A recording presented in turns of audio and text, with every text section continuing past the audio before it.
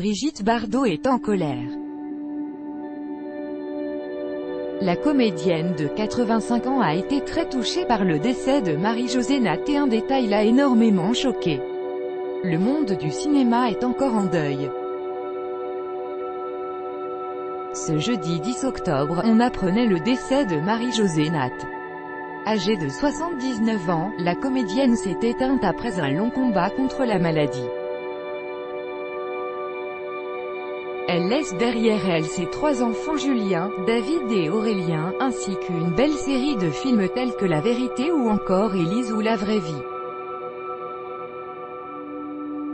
L'actrice est aussi connue pour avoir joué de nombreuses séries télévisées telles que Les gens de Mogador ou encore Terre Indigo.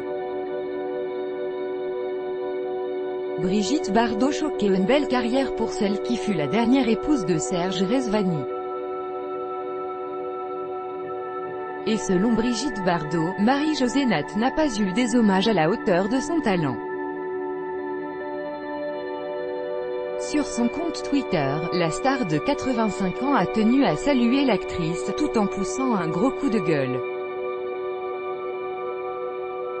Marie-Josée Nat, qui fut ma petite sœur dans le film La Vérité, vient de mourir me laissant une fois encore un peu plus esselée, a-t-elle déclaré sur le réseau social, avant de dénoncer le manque de visibilité quant à l'annonce de son décès, Brigitte Bardot, son nouveau coup de gueule contre les trophées de chasse en Afrique, elle mériterait un hommage à la hauteur de son talent et de la jolie image qu'elle donnait des années 60-70e, a-t-elle ajouté, avant de lancer message aux chaînes, j'espère que la télévision passera le film Les violons du bal pour lequel elle a obtenu le prix d'interprétation à Caen, a-t-elle conclu.